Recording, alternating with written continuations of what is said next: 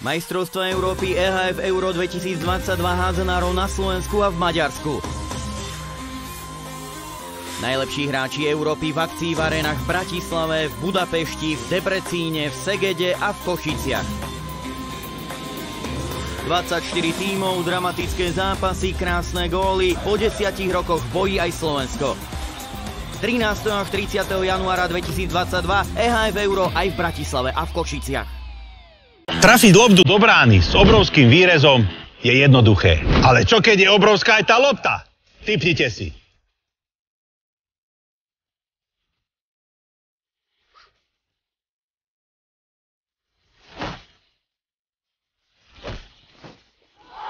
Mega majstrovské. Typujte a vyhrajte Megabank. Rozdávame 27,5 milióna nikov. Niké je typovanie. Objednajte si teraz našu vymakanú svantelku s 50% zľavou a sledujte svoje obľúbené programy kdekoľvek. Navyše s TV archívom na 2 roky zadarmo. Svan. Všetko sa to začalo vynálezom, ktorý zásadne zmenil náš svet. Odvtedy túžime ísť ešte ďalej a ešte rýchlejšie.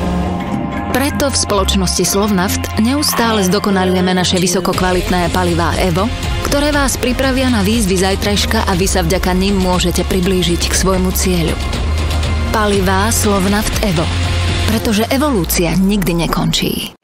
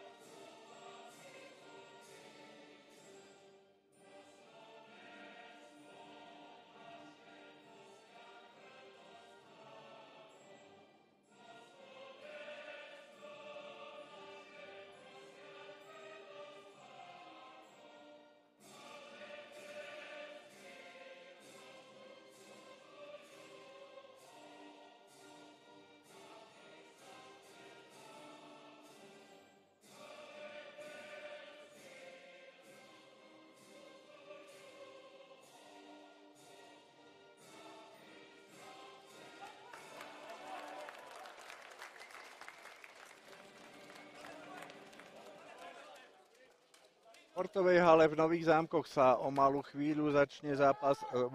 E, kola Nike Hadnárskej extraligy, v ktorom domáci MHT štart Nové zámky privítá zatiaľ posledného účastníka najvyššej súťaže tým Záhoráci Stupava Malacký. Záhoráci zatiaľ bez bodového zisku na svojom konte s hlboko pasívnym skóre 169 ku 209 Domáci zatiaľ v strede tabulky na 8. mieste, ktoré by im zaručovalo postup do eliminačnej fázy alebo nadstavbovej časti súťaže.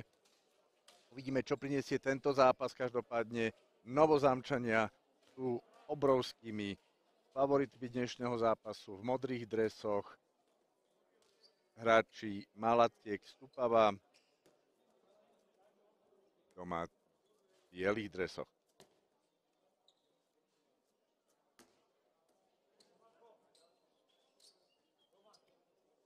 Uvidíme samozrejme zostavy, môžete si ich prečítať. Tým Dragoslava Punosevaca určite nie je v pozícii favorita, môže len je neprekvapiť.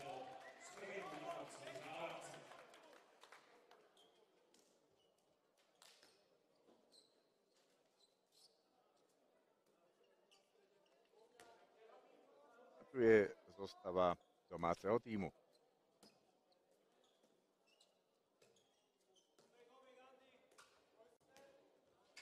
Tak už sa môžeme samozrejme venovať hre. Prvá akcia hostujúceho týmu, zatiaľ zasunutá obrana domácich, ktorá necháva zatiaľ veľmi statickú a pomalú rozohrávku hostujúceho týmu. Už by malo dôjsť k zakončeniu, pretože bude môcť získať pasivita. A vidíme prvý gól. 1-0 pre Malacký strelcom gólu zo 43 Samuel Valent. A ďalšia uh, šanca pre Tupavčanov navýšiť vedenie a aj sa im to darí. Úspešným zakončovateľom bol číslom 9 Roman Valachovič. Takže veľmi rýchlo a pomerne ľahké vedenie hostujúceho týmu. Trošku rozpore s predzápasovými predpokladmi, ale samozrejme to všetko sa ešte môže zmeniť a domáci už aj teraz naznačujú úlohu favorita 11 Ivan Timoščuk 1-2. Hostia sa pokúšali i hneď rozohrať, ale počínali si v rozpore s pravidlami, takže rozhodcovia ich pokus zastavili.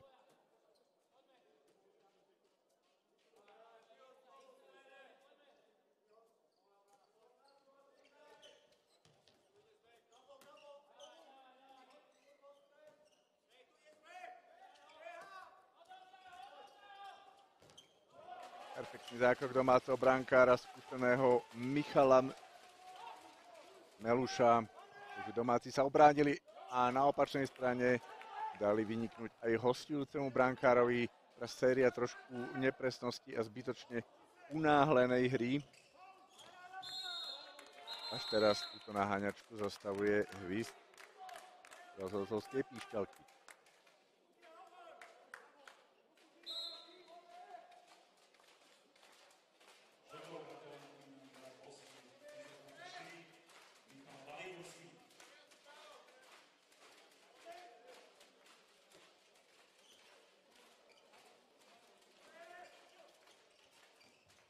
Napokon ďalšie zakončenie, ktoré trošku kurióznym spôsobom končí v bráne 2-2.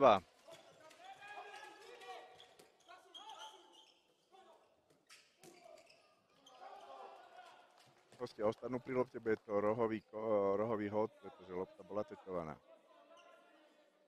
Po blokovanej strele Valenta.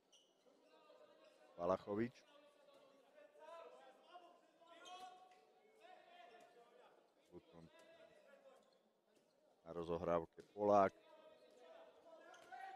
Zatiaľ je útočná hra hosti veľmi statická, ale teraz pekne zakombinovali a Lepák Valenta prináša tretí gol v domácej sieti, Záhoráci opäť vedú o jeden gól, 3-2.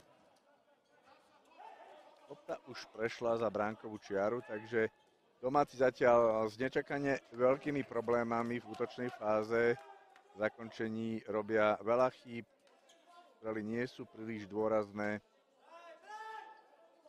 A zatiaľ musíme konštatovať, že zo strany favorizovaného týmu MHC štát Nové zámky je to veľmi rozpačitý úvod.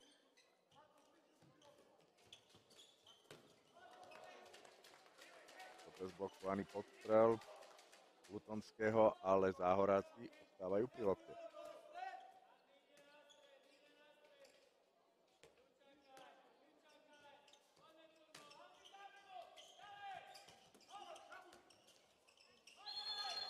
Tam snažil pretlačiť na pivota, ale lopta sa ku konečnému nedostala. Bude z toho deviatka. Ale stále vidíme pomerne pasívnu obrannú hru domáceho týmu, ktorá ako keby lákala hostí práve k takémuto spôsobu zakončenia, ktoré bolo v tejto chvíli nepresné a domáci 18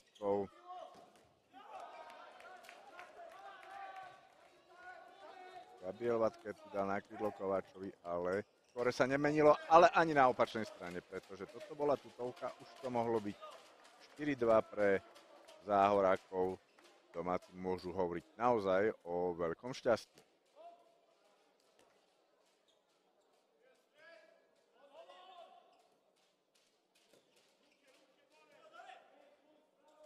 Vatkerty. Ľavo má Timoščuka, napravo so štvorkou Krajčíra. Zatiaľ veľmi, veľmi rozpačitý pocit z útočnej hry domáceho týmu, ako keby sa na ihrisku videli prvýkrát a pritom je to ostrielané a zohrané mužstvo. Zatiaľ veľmi, veľmi nesúrodé akcie domáceho týmu. A samozrejme ani o zakončení nemôžeme hovoriť v žiadnych superlatívoch. Zabudli sme si predstaviť rozhodcovskú dvojicu, ktorou je e, dvojica Martin Manek a Andrej Mistrík. Zatiaľ samozrejme žiadne väčšie problémy nemali, hrá sa v pokojnom tempe. Trochu mdlo je v hľadisku, kde predsa majú prístup ľudia, ale bohvie ako atmosféru nevytvárajú. Možno ich domáci budú musieť zobudiť trochu aktívnejšou hrou.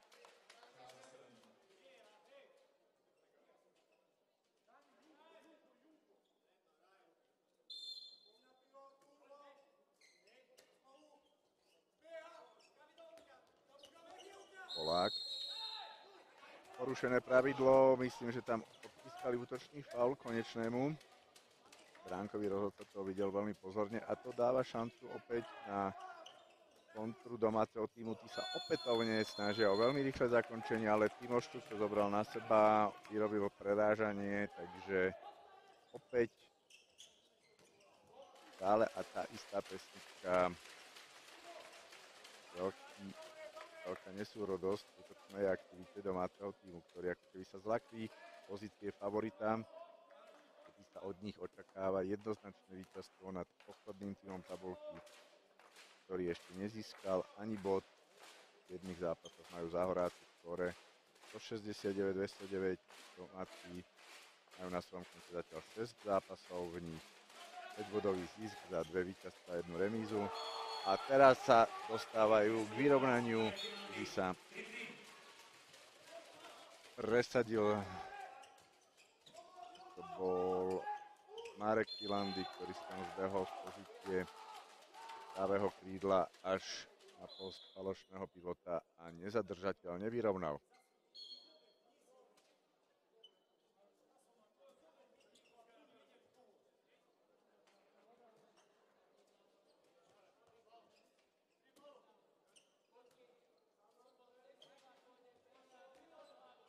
Zatiaľ teda sledujeme veľmi vyrovnanú partiu. To je možno aj trochu prekvapením. Týmto nemal Michal Meluš e, väčší problém, tá strela bola dlho signalizovaná, nemala ani dostatočnú prudkosť, takže ďalší úspešný zákrok Matadora v domácej bráne to smrdelo prerážaním, ale rozhodcovia nechávajú v hre pokračovať a domáci Matador Gabriel Vatker sa pokusí upokojiť rozohrávku. A vymyslieť nejakú peknú zelenú akciu, nejaký signál, možno zo zakončením krídla, to zatiaľ novozámčanom hre výrazne absentuje. Tak nie, opäť si to zobral na seba, kto iný, Ivan Timoščuk a Nové zámky prvýkrát v tomto stretnutí vedú. 4-3. Toto bude jednoznačný 7-metrový hod, navyše žltá karta.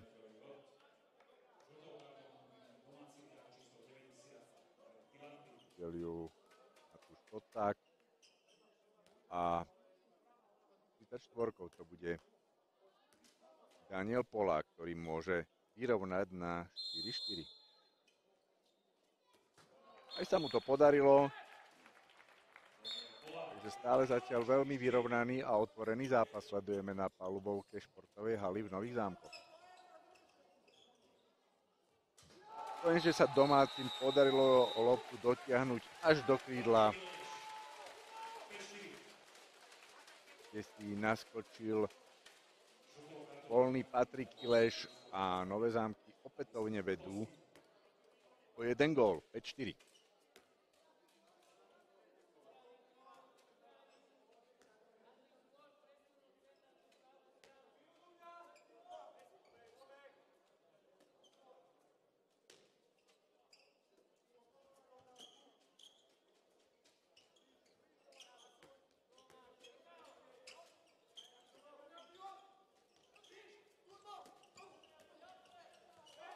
Tam máme na pivote nového hráča. A vybojoval 7-metrový hod uh, Marian Jašo. To bol chrbtom v bráne, ale rozhodcovia postudili tú situáciu, že to bolo už na hranici šestky a že mohol zakončovať, takže odpískali nedovolené bránenie. A druhá sedmička už uh, Danielovi Polákovi nevyšla, opäť výborný Michal Meluš takže stále domáci ostávajú vo vedení 5-4.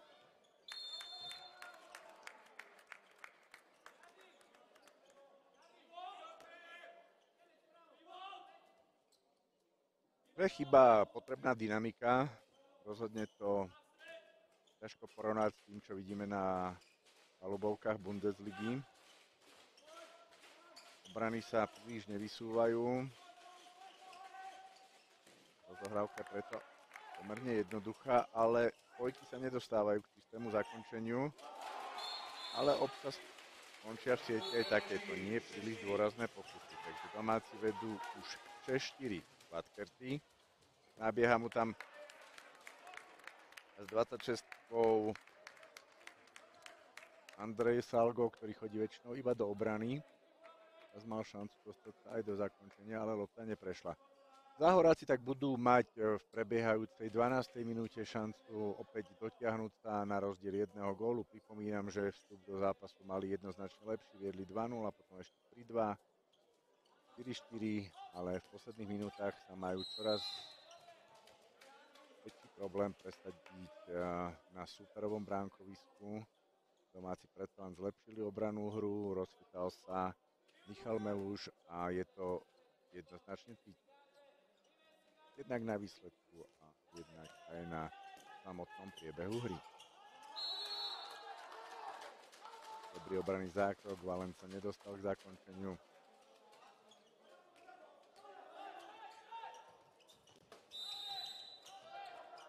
Hostia ešte ostanú pri lopte, pretože pri zakončovaní bol Valent faulovaný. Neuniklo pozornosti rozhodcov. A musí sa utrieť palubovka.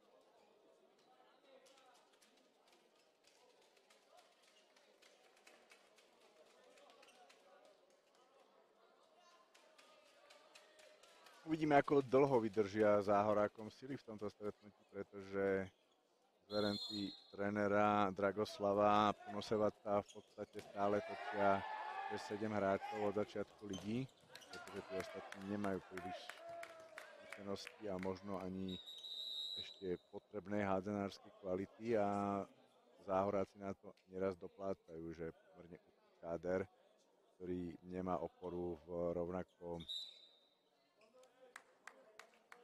kvalitných spoluhráčoch z lavičky jednoducho v závere zápasov už nestačí so silami. Zatiaľ vyrovnaný priebeh, aj keď domáci už potvrdzujú úlohu favorita dvojgolovým vedením 6-4.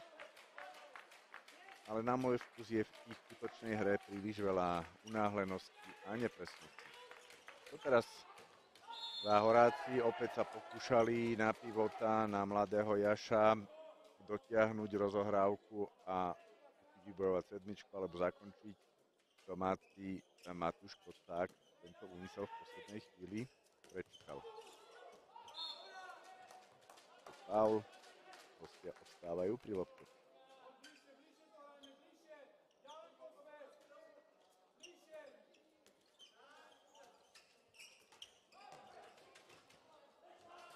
A napokon znižujú na 6-5, pretože k odrazenej lopte sa dostal kto iný, najlepší strelec hostujúceho týmu Roman Valachovič. A tento z podobných pozícií nemýli. Iba, že na druhej strane sa dokázal presadiť Matúš Kosták a opäť je vedenie domácich dvojgolov a navyše sme videli aj vylúčenie hostujúceho hráča že domáci budú hrať presilovku ak sa ubránia, majú veľkú šancu svoj náskok na 3 góly.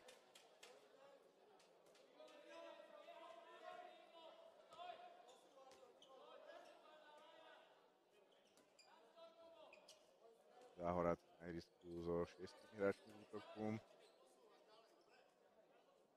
Išiel na lavičku.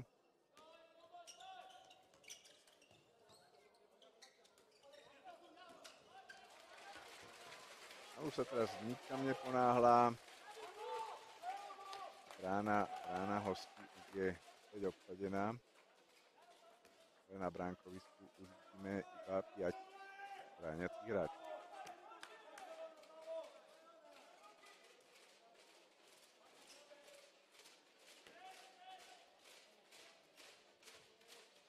Timoščuk 8-5, zatiaľ najlepší strelec domáceho týmu, jeho tretí gól po prvýkrát dostáva štart Nové zámky do trojgolového trháku.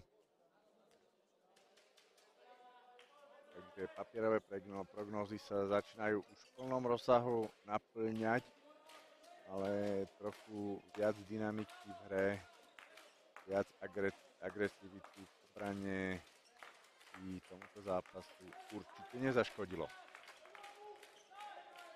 Valachovič sa opäť uvoľnil na krydle a perfektne tam prevetral Ofinu Michalovi Melušovi 8-6.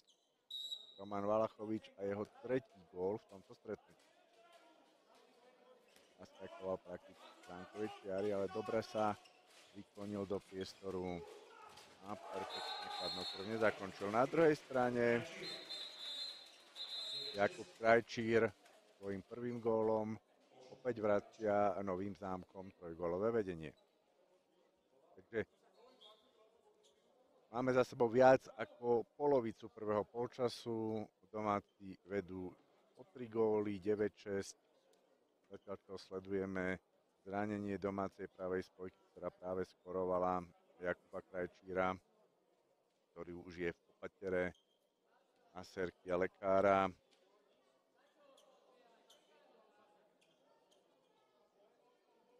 Takže domáci naplňajú pozíciu favorita, ale ako bolo viackrát povedané, rozhodne to nie je z ich strany optimálny a ani 100% výkon.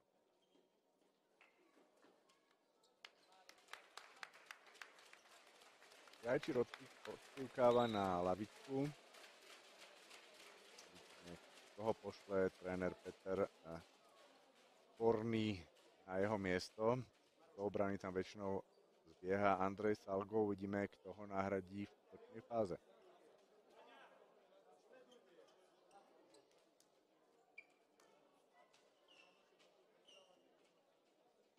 Zatiaľ, kým sa nehrá, si môžeme trošku zalistovať v statistike.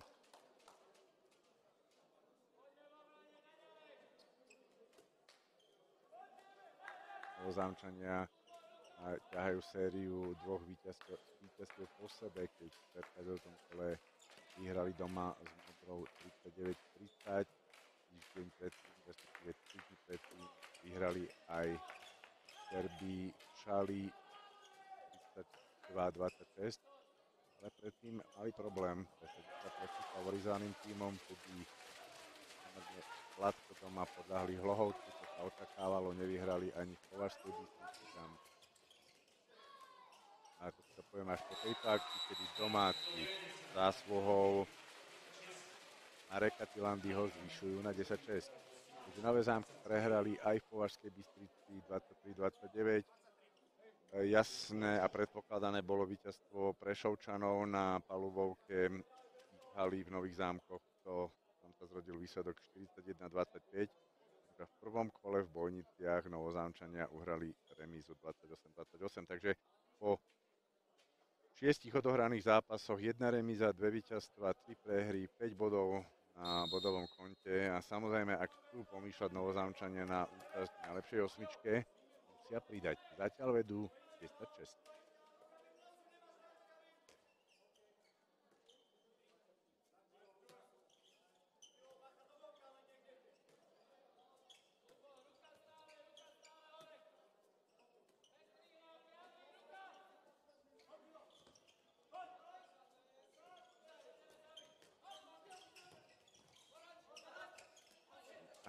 vidíme, ako sa agresívnejšia obranná hra alebo agresívnejší prístup a väčšie vysunutie brániaceho celku zhruba o 1,2 m vyššie do, do pola okamžite prejavuje v tom, že rozohrávka hostujúceho týmu má zrazu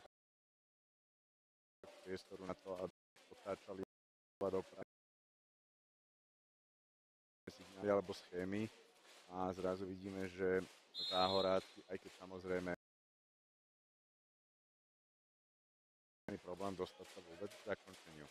Takže ideálny priestor alebo pasáž hore, kedy môžu domáci favorizovaní novozámčania navýšiť svoje vedenie a tak sa aj deje. Opäť je to Marek Tilandy 11-6 pre štart Nové zámky.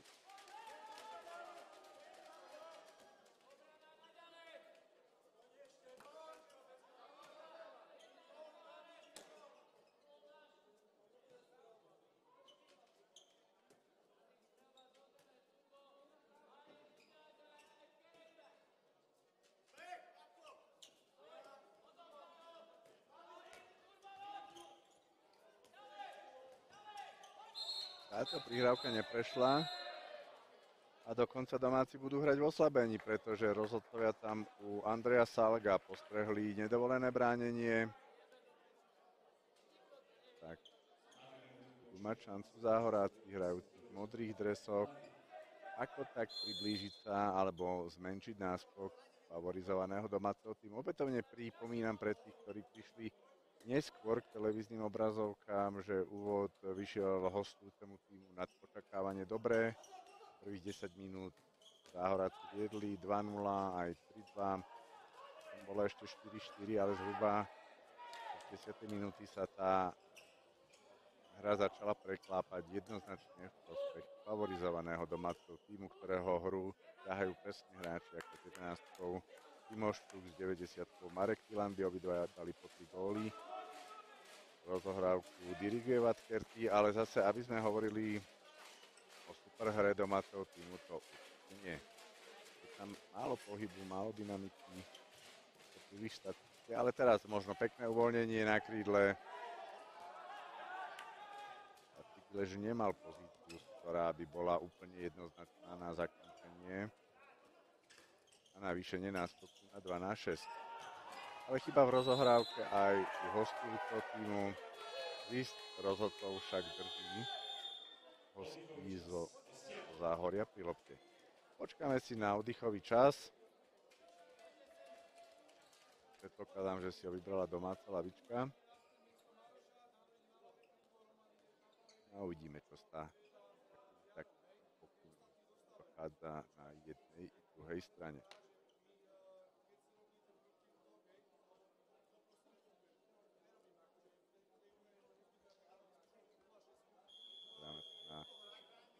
do trénera Dragoslava Kunosevaca. Mladí chlapci, Polča, Jánoš, Polák, to vekom ešte juniori alebo kadeti, alebo na začiatku dospeláckej kategórii sú perspektívou a prístupom pre slovenské hádzené, ale samozrejme potrebovali by napredovať uh, aj vo väčšej konkurencii, ako sa momentálne zišla Záhorácky alebo Malet. Vlastne k celému, celém, celej tejto fúzii dvoch klubov, dvoch bývalých účastníkov prvej ligy došlo tesne pred štartom tejto sezóny, zjavne aj z ekonomických dôvodov. A funkcionári záhorákov argumentovali tým, že majú z vlastnej liahne dostatok uh, talentovaných hráčov, či už zo alebo z Malaciek. A dať ich dokopy malo v strednodobom horizonte priniesť predsa len nárast kvality. Náhle sa týchto mladí hráči očúkajú v prvej lige. Samozrejme otázka, či sa im podarí vôbec. Toto bola pekná akcia, ľahké zakončenie. 25 Lutonský 11-7.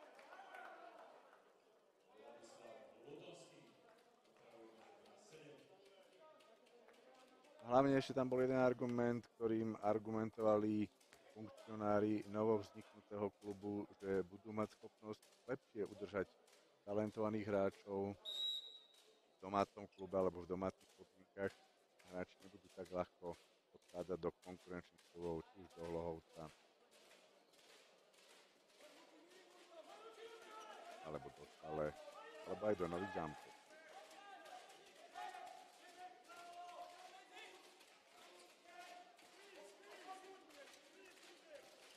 Začala nám posledná 10 minútovka prvého polčasu. Domáci stále vedú o 4 góly. Vážnou začiatku otočili pomerne rýchlo vývoj zápasu vo svoj prospech a opäť je ich vedenie 5 gólové. Druhým gólom v zápase sa pres, presadil a do štvrtky listy zapísal Matúš Koták.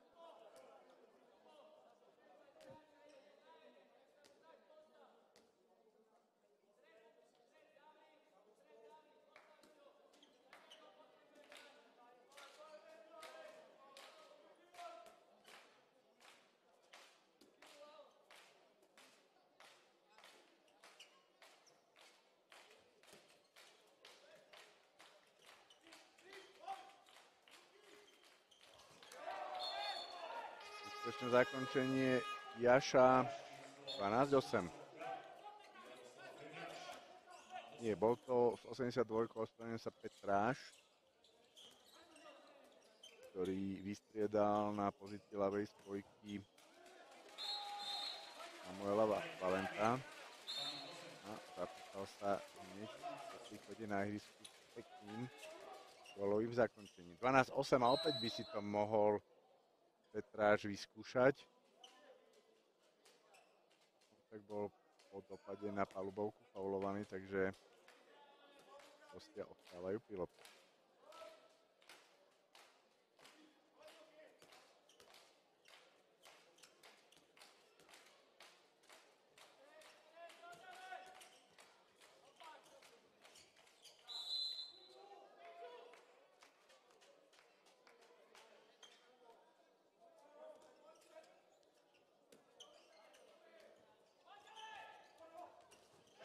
pekné zakončenie, o ktoré sa postaral 25 Lutonský. Opäť iba štvorgólový rozdiel.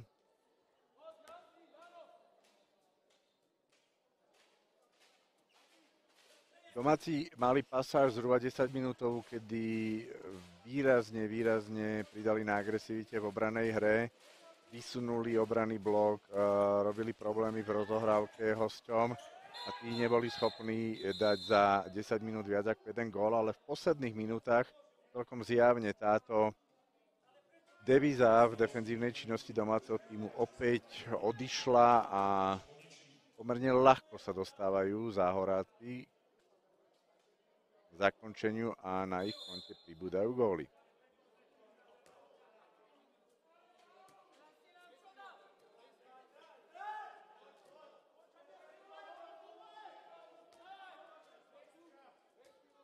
Takže 13-9.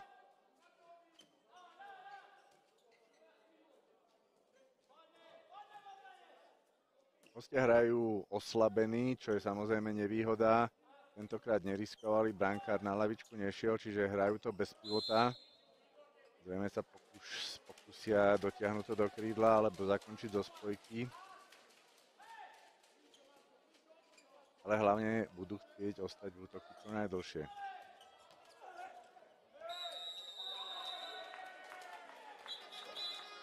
Trochu nebolo v hľadisku, bolo to sporné, ale vzhľadom na to, že brániaci hráči už boli obaja v bránkovisku, museli rozhodcovia viazať na bod uh, zo 7-metrovej vzdialenosti. Samozrejme, že to čiastočne vyzeralo aj ako prerážanie, ale postavenie hráčov v bránkovisku bolo primárne. Takže tretí 7-metrový hod pre hostí v tomto zápase a zníženie stavu na 13-10. Opäť sa chladnokrvne presadil Roman Valachovič, ktorý veľmi presne vedel, o aké zakončenie sa chce pokúsiť a brankár Michal Meluž nemal šancu.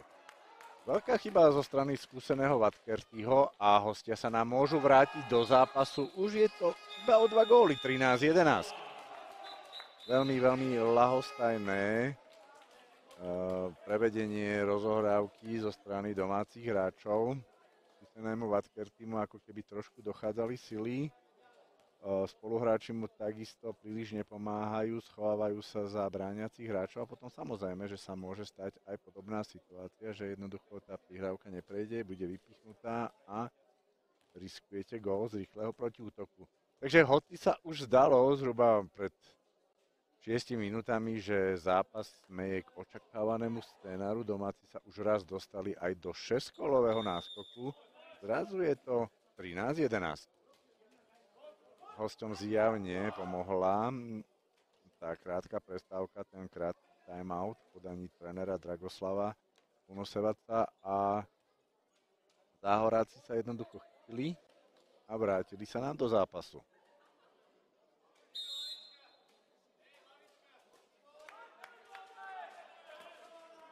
Ešte 36 sekúnd budú hrať hostia v oslabení, ale zatiaľ oslabovku paradoxne vyhrávajú 2-0.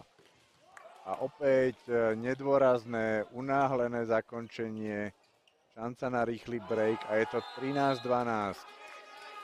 Videli sme len tú záverečnú fázu a zakončenie koho iného ako Romana Valachoviča.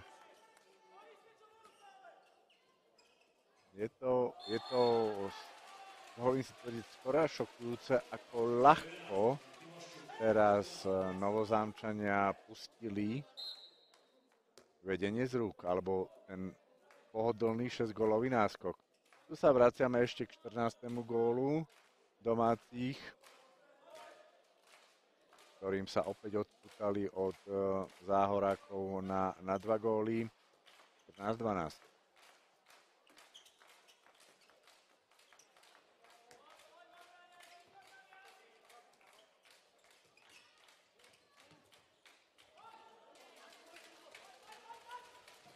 Presné zakončenie.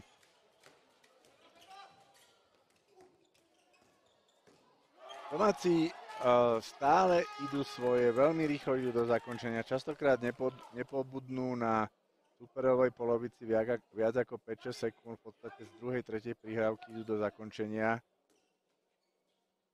Neviem, či im to tréner Peter Sporný nakázal, alebo naopak ich na to neupozornil, že to nemajú robiť, ale zjavne stále skúšajú ten istý koncept a produkujú z neho pomerne veľa nepresností a chýb. A aj to je príčina, prečo je stav a rozdiel iba dvojgólový.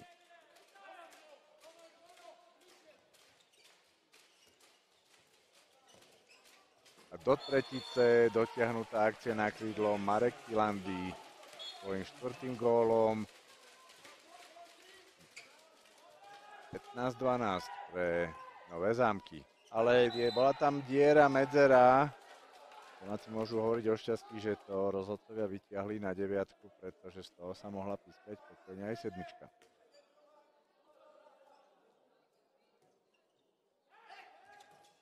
A ďalší zábeh. Krídla si na pivota šikovne zabehol poza obrancov. Roman Valachovič, ktorý sa nám presunul medzi tým z pozície ľavého krídla napravo a ešte je nebezpečný aj svojimi zábehmi do pivota.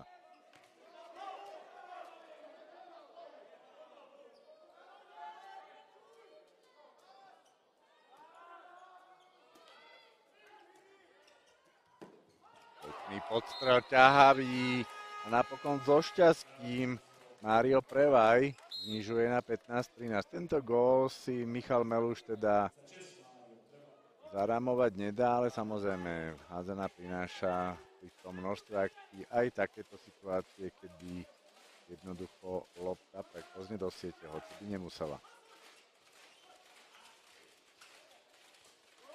Timoščuk tam zakombinoval, Stilandym a napokon zakončoval Katona, ale skore sa nemenilo. To isté platí aj na opačnej strane, opäť trošku chaotická medzihra a unáhlené zakončovanie na jednej i druhej strane. Napokon však majú loptu záhoráci a teoreticky keby trochu loptu podržali, kľudnili rozohrávku a dokázali skorovať, tak odchod do Tatní na 10 minútovú prestávku by mohol byť za veľmi, veľmi až nečakane vyrovnaného stavu.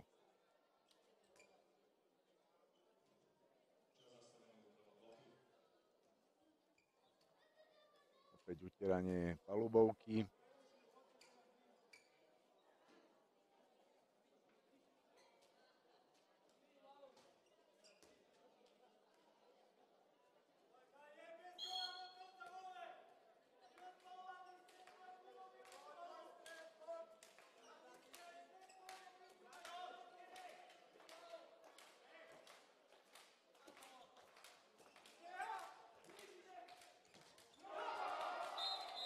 Michalovi Melušovi teraz nejde karta, aj toto bol pomerne lacný gól, pretože lopta mierila tam, kde stál, ale nedokázal zabrániť tomu, aby prenikla do siete a dokonca Tupavčania môžu vyrovnať, tak teraz Valachovič zahodil obrovskú šancu. Meluš teraz podržal svoj tým, ale veľa nechýbalo a Remiza 15-15, priznám sa úprimne, by bola prekvapením aj pre mňa po prvom polčase. Pretože ešte si pamätáme situáciu, kedy bol stav 13-8 a všetko to vyzeralo na úplne jednoznačnú záležitosť domáceho týmu. Záver, poslednú 10 minútovku prvého polčasu však hráči MHC štart Nové zámky absolútne nezvládli.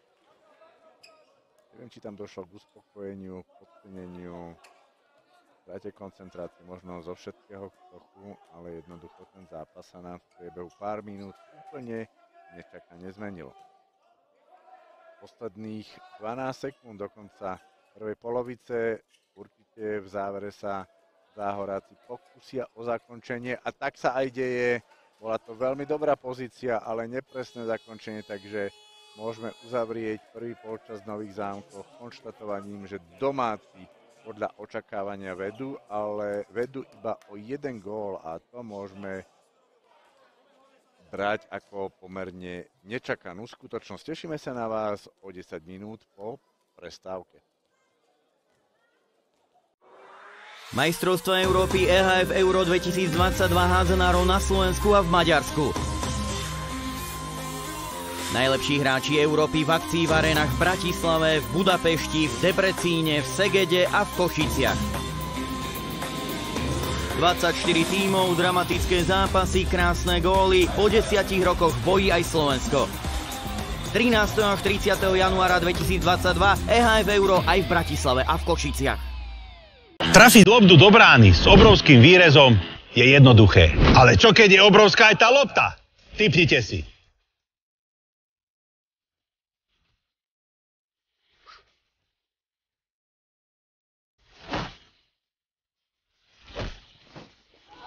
Mega majstrovské. Tipujte a vyhrajte Megabank. Rozdávame 27,5 milióna nikov. Niké je typovanie. Objednajte si teraz našu vymakanú svantelku s 50% zľavou a sledujte svoje obľúbené programy kdekoľvek. Navyše s TV archívom na 2 roky zadarmo. Svan. Všetko sa to začalo vynálezom, ktorý zásadne zmenil náš svet. Odvtedy túžime ísť ešte ďalej a ešte rýchlejšie. Preto v spoločnosti Slovnaft neustále zdokonalujeme naše vysokokvalitné palivá EVO, ktoré vás pripravia na výzvy zajtrajška a vy sa vďaka nim môžete priblížiť k svojmu cieľu. Palivá Slovnaft Evo. Pretože evolúcia nikdy nekončí.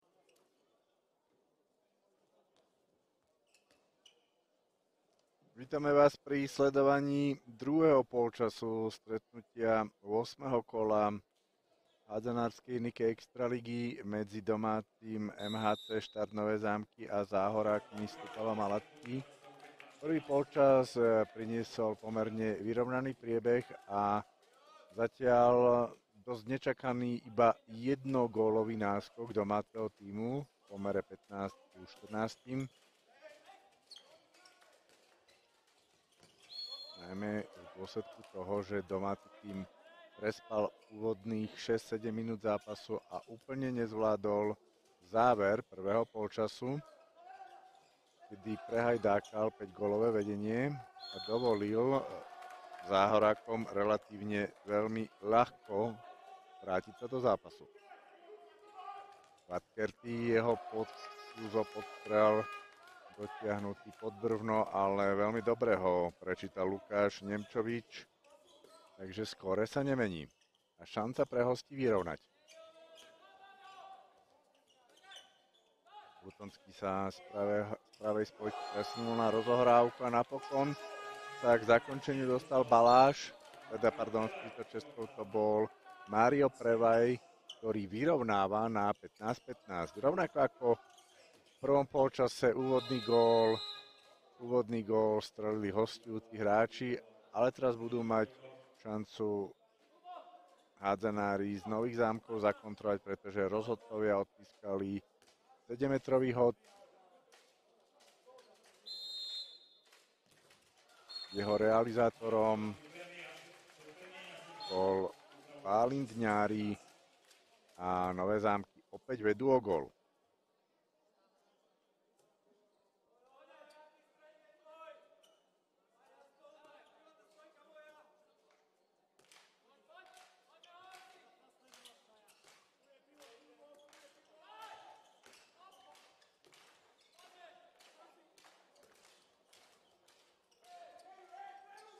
Komplikovaná rozohrávka hostí, ale napokon po Petrášovej prihrávke predsa len ešte ostala lopta v moci hráčov v modrých dresoch.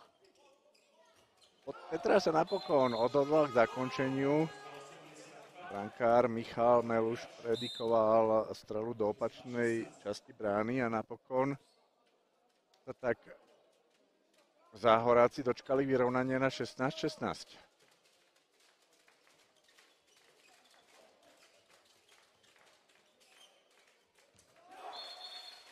Medzi tým už je 17-16.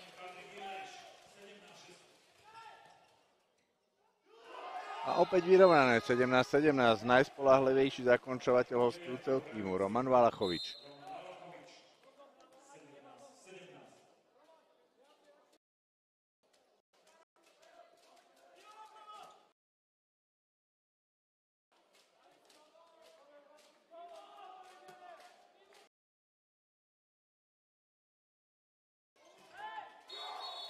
Dobrý prienik. Daniela Bandriho 18-17 a hneď na to 19-17. Dva góly v priebehu možno 10 sekúnd. Posúvajú domácich do dvojgolového vedenia. Tak hrá sa nám teraz hore-dole. 26 Trhák zakončuje Andrej Salgo a z ničoho nič priebehu 30 sekúnd tri inkasované góly v sieti brankára Juraja Rybára a prvopotne dotiahnutý náskok domáceho týmu zo strany hádzanárov Záhoria je zrazu stratený a opäť je tu trojgolové vedenie domáceho týmu. Treba povedať, že novozámčania sú jednoznačnými favoritmi tohto zápasu, že mladý tím, spojený tím Malatiek a Stupavý zatiaľ v dotrajšom priebehu súťaže nezískal ani bod a príliš sa to od neho neočakávalo ani v dnešnom stretnutí. Ale ako ste sami mohli vidieť, pomerne dlho dokázali záhoráci držať vyrovnanú partiu a teraz sa opäť vrátili na dvojgólový rozdiel, kedy Polča nekompromisne zavesilo loptu pod brvnosť pravého krídla. Timoščuk sa nám presunul na rozohrávku. Vymenil sa miesto s Vatkertým, ktorý hrá pravú spojku. Teraz si zabehol, uvoľnil, uvoľnil na krídle Patrika Ileša a domáci opäť vedú o 3 góly.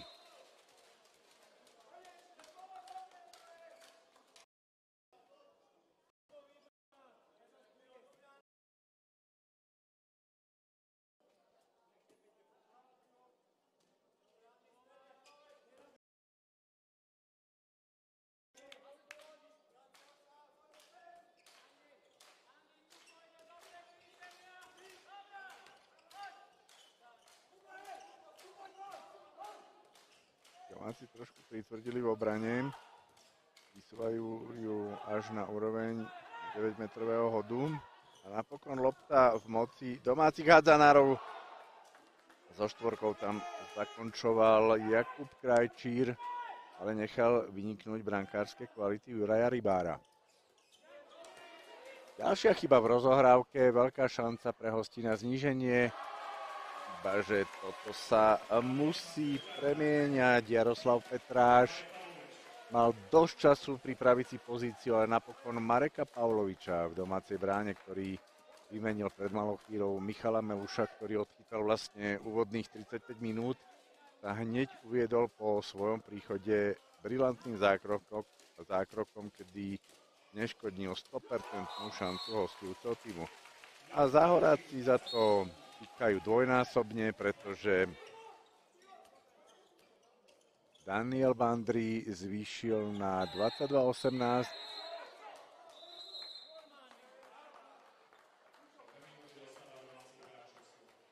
A medzi tým je Jakub Krajčír vymenený po tomto faule na dve minúty a hostia budú mať početnú výhodu.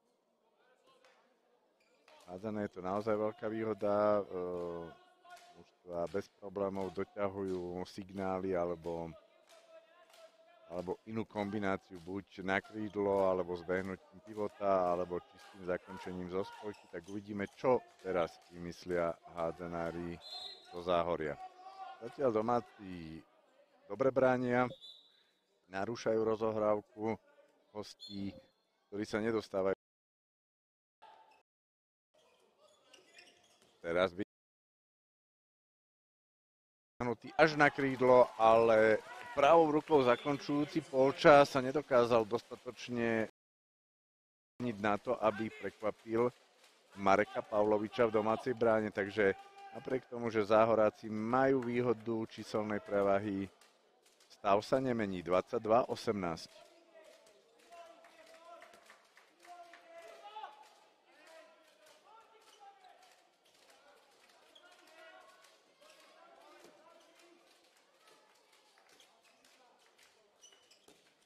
25. Skúša to individuálne. Je prerušená faulom.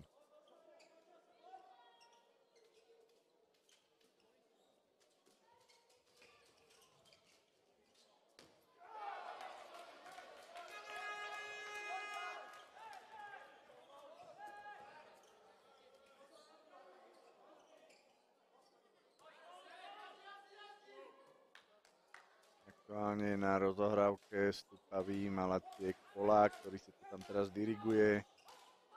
Chcel uvoľniť na pivote Samuela Valenta, ale ten jeho prihrávku úmysel vôbec nečakal. A tak sa z toho narodil pomerne ľahký gol na opačnej strane, kedy rýchly break zakončil polahký Ivan Timoščuk 23-18 a vraciame sa tam, kde sme boli zhruba v 20. minúte prvého polčasu, kedy mali novozámčania veľmi ľahko a rýchlo získaný 5-golový náskok, potom oň e, veľmi, veľmi laxným prístupom prišli v závere prvého polčasu a možno práve na to chce teraz apelovať hostujúci tréner Dragoslav uh, Sevac, ktorý určite burcuje svojich zverencov, že ešte nič nie je stratené, ale popravde myslím si, že Nové zámky druhýkrát v zápase rovnakú chybu neurobia a jednoducho si ten náskok ustrážia.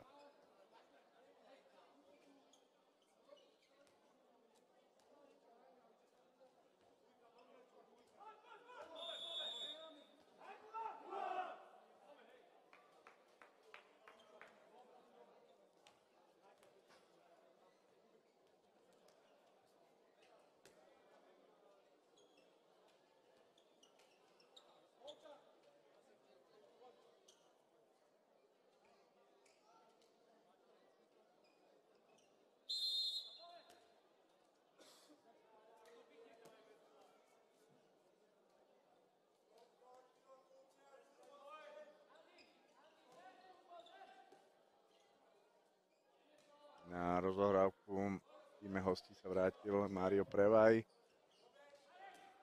Na krídlach má Valenta a Lutonského.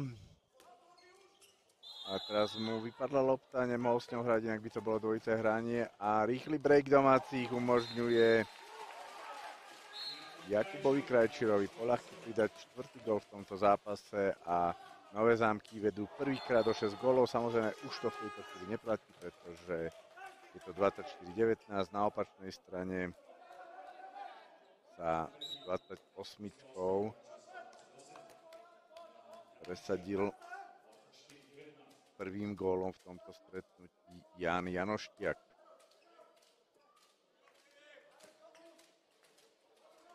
Dvadsaťštyri devätnásť.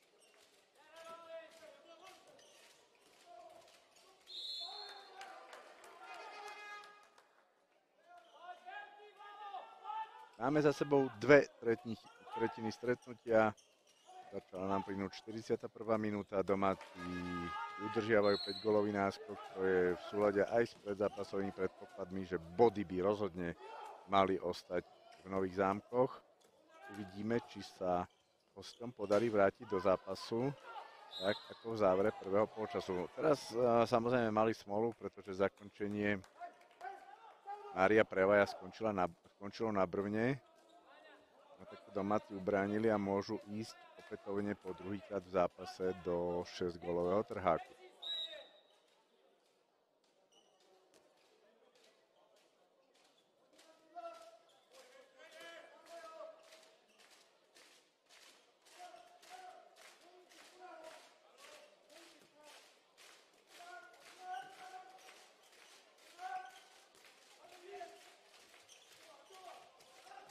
Ňári. Pekne uvoľnil zabiehajúceho krajčíra. Tomu chýbalo trochu viac šťastia, lopta sa odrazila od drvna späť do pola.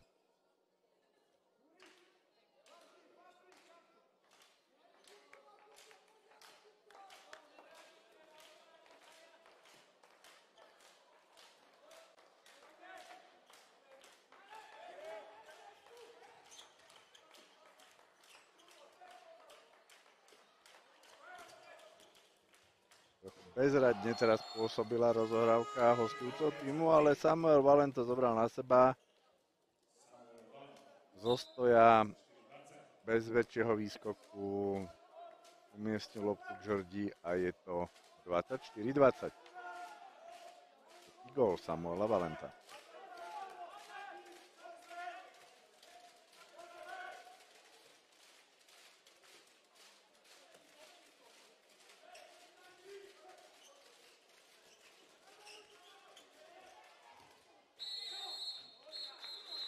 Metrový hod a navyše aj dvojminútový trest pre brániaceho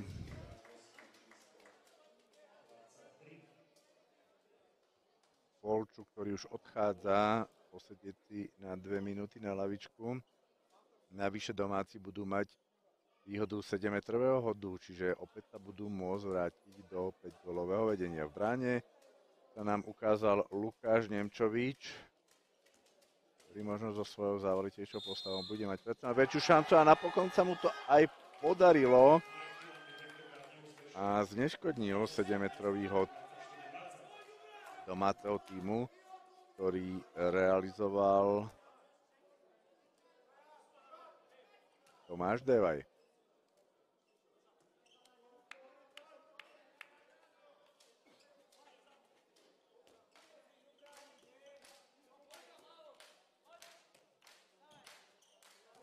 Opäť pomerne statická rozohrávka záhorákov.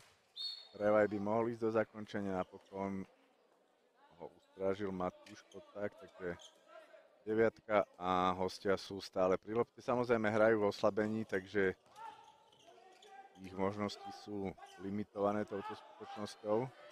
Ale Prevaj by mohol zakončiť aj sa o to pokúsil, lopta bola tečovaná, tak nie? To nám chvíľu hrať nebude, pretože hlavný rozhod, teda rozhodca Martin Manek si už volá na ihrisko domáceho lekára a maserku, aby sa tam lepšie pozreli na to, čo je s jedným z domácich hráčov, ak sa nemýlim.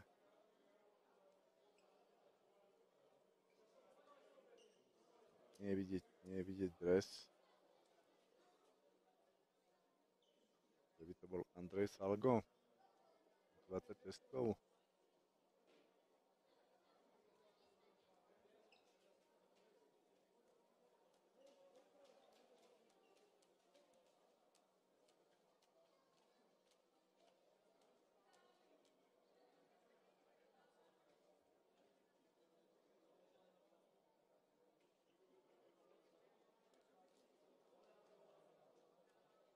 Stále tam vidíme ošetrovanie, čas sa samozrejme stojí.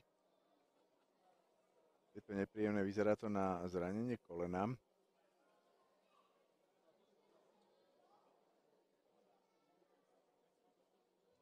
Režia nám zatiaľ neponúka opakovaný záber z toho inkriminovaného momentu, ktorý sa zrodil pri zakončovaní hostujúcich hráčov. Áno, bol to Andrej Salgo, ktorý je teraz odnášaný na lavičku.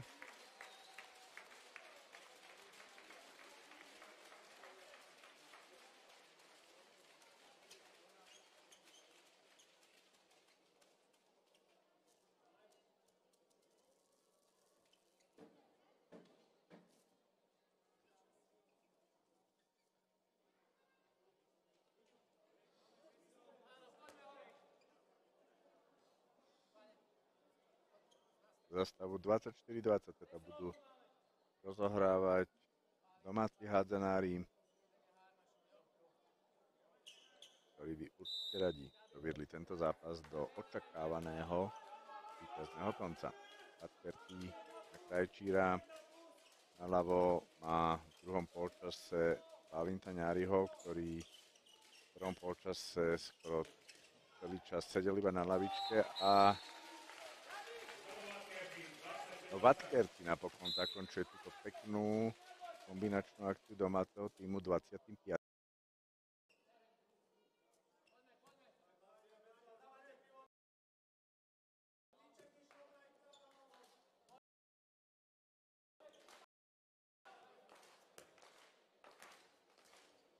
Prevaj. Potiahol to do krídla a veľmi šikovne, veľmi šikovne tam zakončil z čase celkom dobre hrať na rozohrávku, teraz sa stiahol na ľavé krídlo a naozaj veľmi šikovné filigránske zakončenie k bližšej žrdi, kde to brankár Marek Pavlovič nečakal.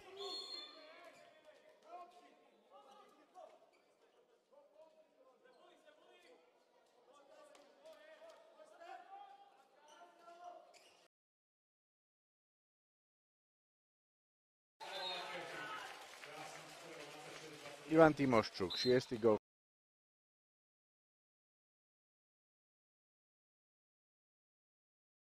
A na, na jeho gól odpovedá na opačnej strane 26 36 Mario Prevaj. 26-22. Domáci sa nevedia otrhnúť do väčšieho ako štvorgolového náskoku, pretože vždy dokážu záhoráci zareagovať ale na druhej strane štvorgolový náskok je relatívne komfortnou zónou a pohľadu výhliadok domáceho týmu na očakávané víťazstvo je to situácia, ktorú viac menej pevne držia vo svojich rukách. Aj keď sme v závere prvého polčasu videli situáciu, kedy vlastnou ľahkou vážnosťou v priebehu 3-4 minút po takýto náskok prišli. Latkerty.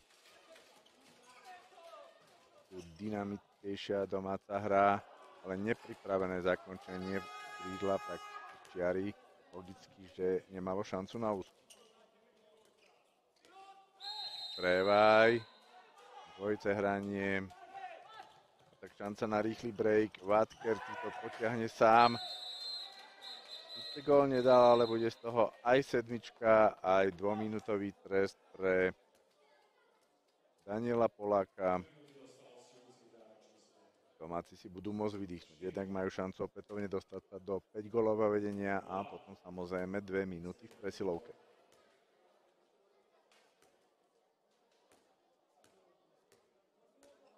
Rozhodcovská dvojica Martin Manek, Andrej Majstrik, zatiaľ veľmi dobrý výkon, málo viditeľný, nepútajú na seba pozornosť, nezasahujú do hry, nič podstatné mi neuniklo.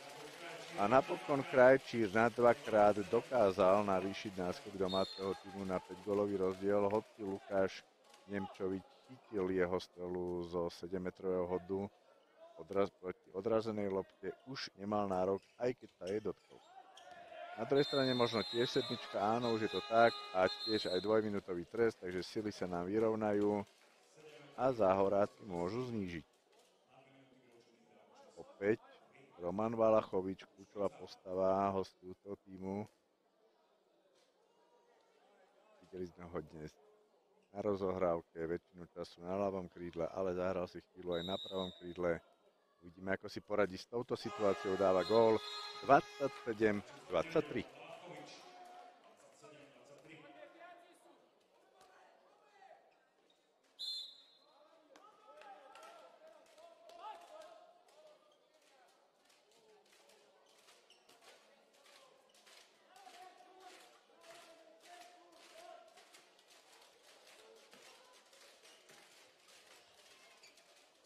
Krajčír sa tam ťahal až na šestku, potom bol ubránený, nezakončil ani Vatkerty, ktorý si pýta 7-metrový hod.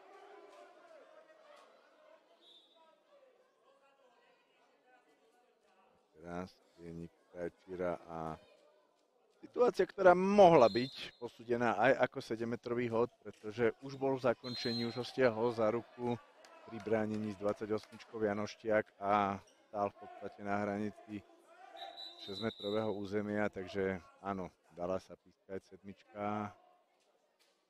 si to vyčítalo rozhodcom, ale ako som už hovoril, ich výkon zatiaľ javí sa byť trochu polahlivý, presný. A napokon nevideli sme ani žiadne nervóznejšie reakcie zo strany hráčov oboch tímov alebo lavičiek.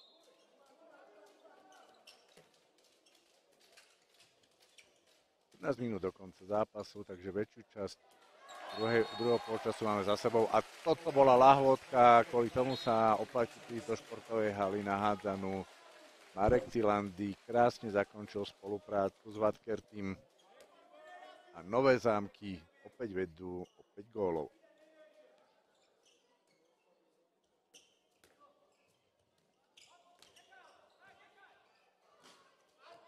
Teraz pomerne latný gól, s týmto sa Marek Pavlovič príliš chváliť nebude. Doslova ho Polča prestrelil strelou z pravého krídla.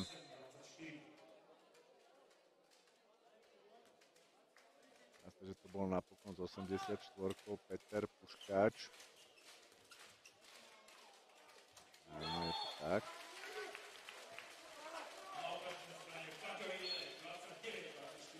Na druhej strane však kontruje Ileš a domáci opäť vedú opäť gólov.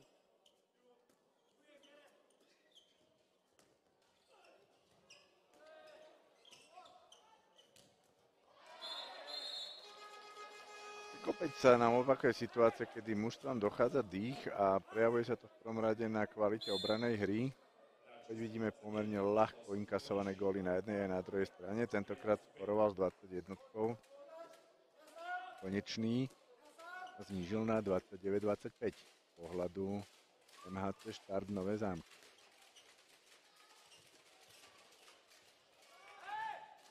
Buď gól, alebo sedmička napokon. Bálindňári zakončil svoj individuálny prienik presne umiestneným zakončením k žrdí 30-25 a navyše vylúčenie na strane hostov toho týmu. Domáci budú hrať ešte aj silovku. Neviem, či to hostujúca lavička zaznamenala, pretože tam necháva života zatiahnutého na šestke.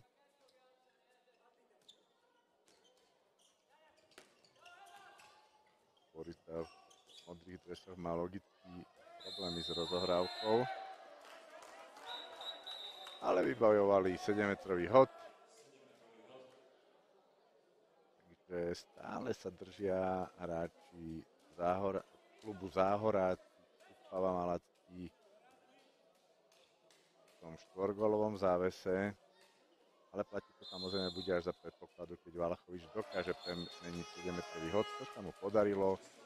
Nové zámky, Záhoráci 30-26.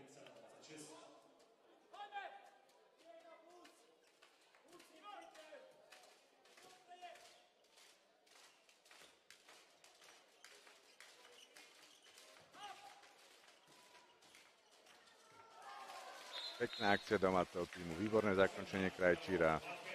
30, a tak napokon bol to Batkerty, nie Krajčír. Batkerty sa nám v druhom polčase rozostrieľal, je to už jeho tretí gól. Domáci vedú opäť gólov.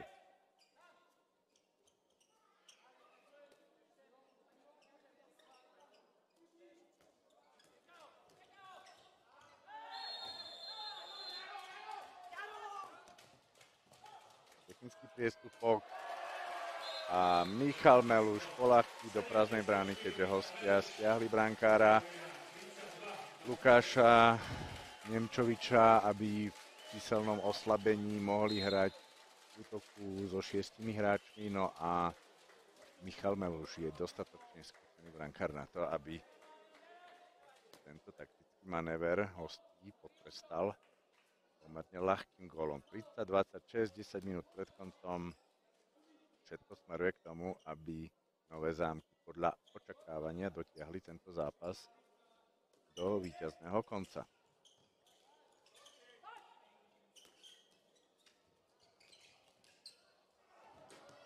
Ale to bol mimoriadne vydarený pekný prienik Lutonského 32-27.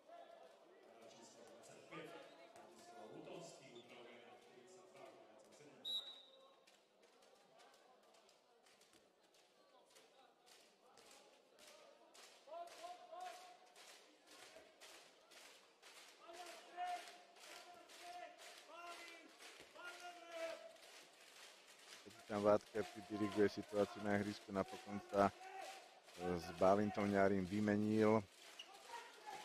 Presunul sa na pravú spojku, Ňari teraz je na rozohrávke. A už je tam zábeh života, ale to tak nedokázal udržať loptu. Iba, že ani konečný na opačnej strane nedokázal skrotiť malú polepenú loptu a tak sa nové zámky ubránili.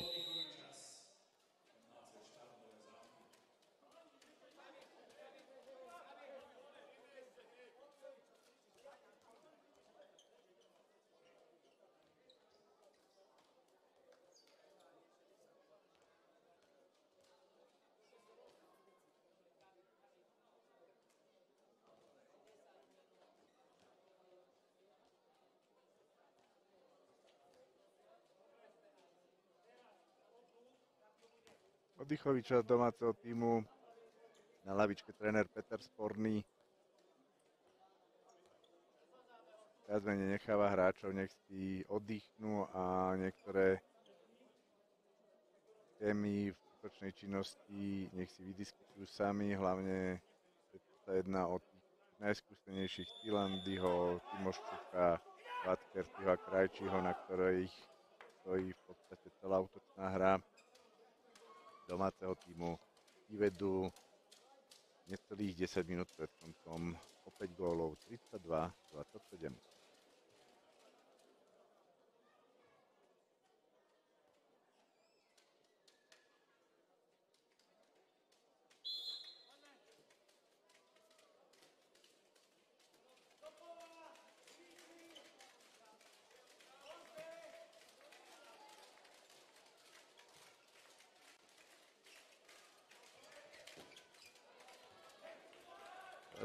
Si pripísal úspešný zákrok Lukáš Nemčovič.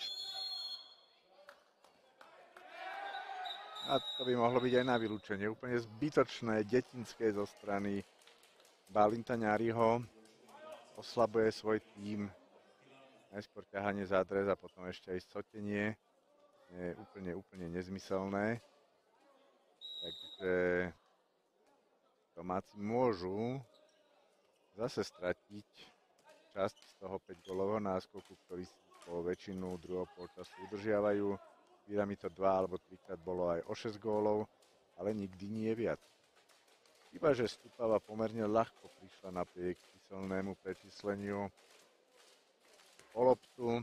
Na tak 8 minút pred koncom sa musia záhoráci brániť, pričom prehrávajú o 5 gólov.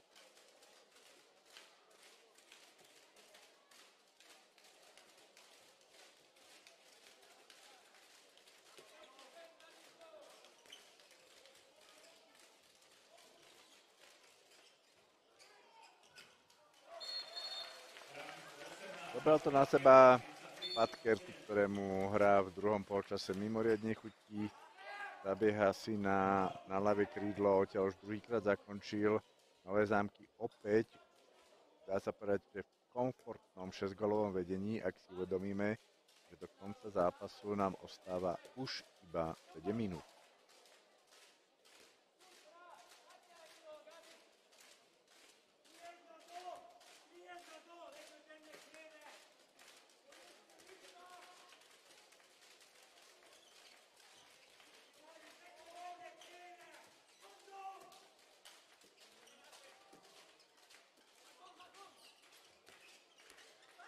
Štuk.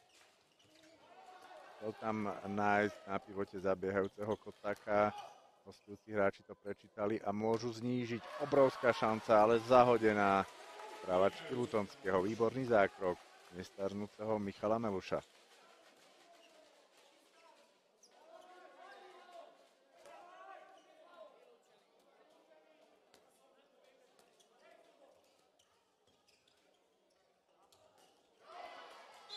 Napokon pekné zakončenie správačky Jaroslava Petráša. Je zaujímavé, ako keď bola zakliatá tá 6-golová hranica, jednoducho do 7-golového náskoku sa novozámčania ani raz nedostali a mali na to 4 alebo 5 krát reálnu príležitosť. Takže 33-28 prebiehajúca 55. minúta zápasu. Všetko smeruje hádzanárov. Vyzeralo na kroky, ale napokon rozhodcovia nechali loptu za horákom, lebo tam videli faul na Lutonského. Prerážanie jednoznačné, dopustil sa ho 82 Jaroslav Petráš a zdá sa, že domáci si to už v pohode ustrážia posledných 5 minút zápasu práve začína.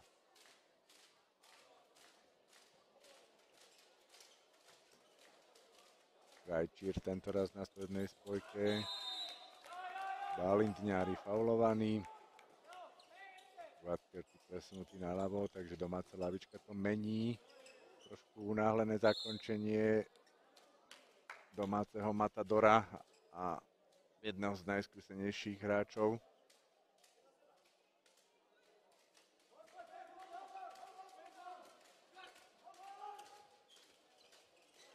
A opäť sa tam môže dostať Latkerty do zakončenia. Ešte to posunul na Mareka Tilandyho, tak nie, z 90, áno, z Mareka Tilandyho z 90, pre ktorého je to jedný gol v tomto stretnutí. Domáci vedú 34-28.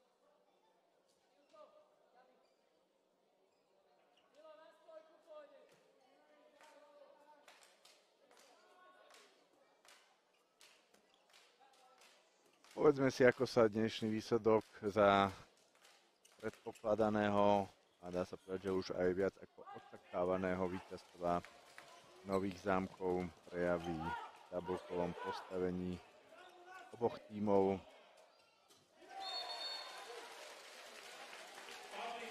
36, 28, takže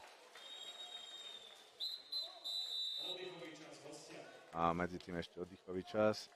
Takže e, nové zámky budú mať na svojom konte 7 bodov, záhoráci ostanú na nule. Opäť sa zväčší ich negatívne skóre už na pred týmto stretnutím to mali minus 40, teraz budú atakovať minus 50 pomaly. Nové zámky v závislosti od výsledkov ostatných zápasov by si mali udržať a určite si udržia pozíciu prvej osmičke. Tieto Polčany doma prehrávali s Košicami pomerne výrazne.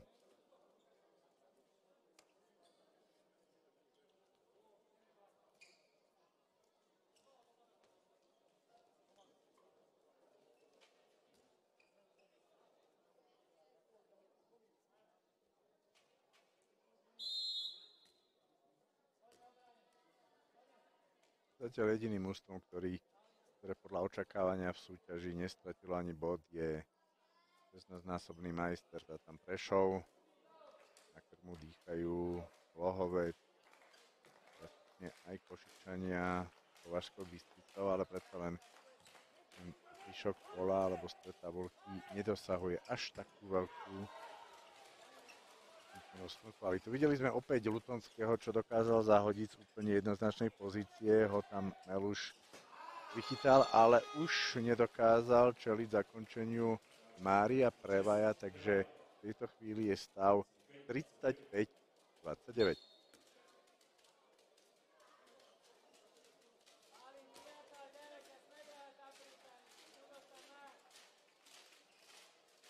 Gólovo mimoriadne bohatý druhý polčas, v ktorom sme videli 29 gólov, v tom druhom už 34. To máme ešte 3 minúty pred sebou. Áno, a ďalší gól nám padol, 36, 29.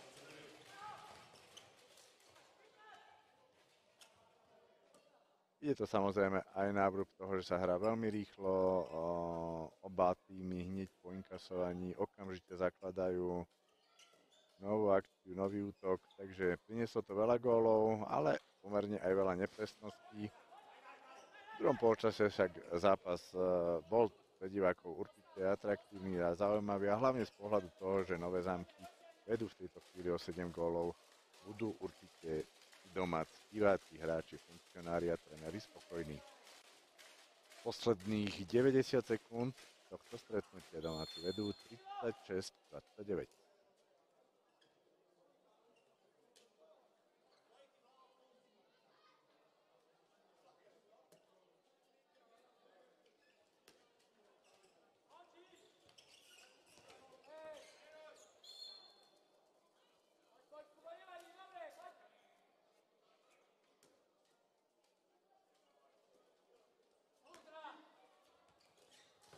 Pekný podstrel strávačky Balintáňáriho 37, 29.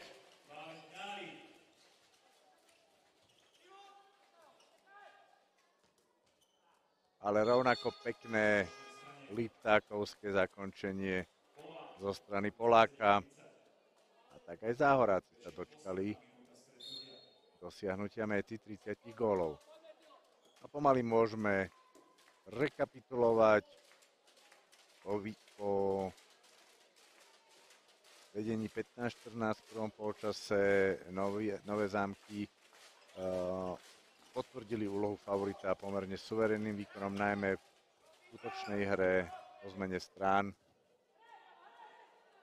kedy dokázali streliť 22 gólov do týchto chvíľ a zaslúženie podľa očakávania a na základe vyššej hráckej kvality dokázali zdolať svojho súpera kým Záhoráci Slava mala 37-30 a Záhoráci tak stále ostávajú na poslednom mieste tabulky bez bodového zisku. Ďakujeme vám za pozornosť a tešíme sa na vás pri ďalších prenosoch z hádzanárskej Nike Handball. Majstrovstvo Európy EHF Euro 2022 hádzanárov na Slovensku a v Maďarsku. Najlepší hráči Európy v akcii v arenách v Bratislave, v Budapešti, v Debrecíne, v Segede a v Košiciach. 24 tímov, dramatické zápasy, krásne góly, po desiatich rokoch bojí aj Slovensko. 13. až 30. januára 2022 EHF Euro aj v Bratislave a v Košiciach. Trafiť lobdu do brány s obrovským výrezom je jednoduché. Ale čo keď je obrovská aj tá lopta? Typnite si.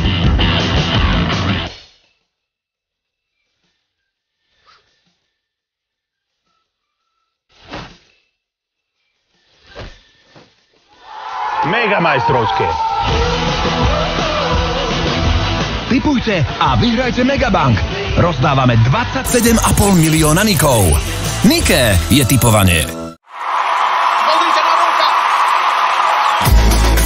Objednajte si teraz našu vymakanú svantelku s 50% zľavou a sledujte svoje obľúbené programy kdekoľvek. Navyše s TV archívom na 2 roky zadarmo. Svan.